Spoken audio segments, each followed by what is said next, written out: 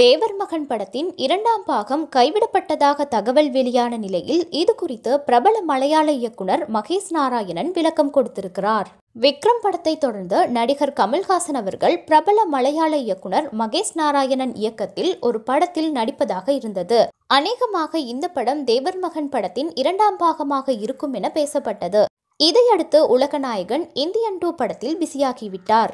இந்த நிலையில் கடந்த சில நாட்களாக உலகநாயகன் மற்றும் மகேஷ் நாராயணன் இணையும் படம் கைவிடப்பட்டதாக தகவல் வைரலாகி வந்தது.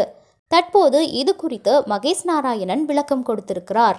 இந்த படம் நிறுத்தப்படவில்லை. இது கமல் சார் எழுதிய ஸ்கிரிப்ட். தற்போது அவர் பிஸியாக மற்ற படங்களில் நடித்து வருகிறார். அதை முடித்த பிறகு எங்கள் கூட்டணி தொடங்கும் என்று அறிவித்துள்ளார். இதனால் ரசிகர்கள் மகிழ்ச்சியில் உள்ளனர். உலகநாயகன் இந்தியன் டூ மணிரத்னம் படம் என பிஸியாகி இருக்கிறார். இதனை முடித்து கொடுத்த பிறகு தேவர் மகன் படத்தின் இரண்டாம் பாகம் பற்றிய அறிவிப்பும் வெளியாகலாம்.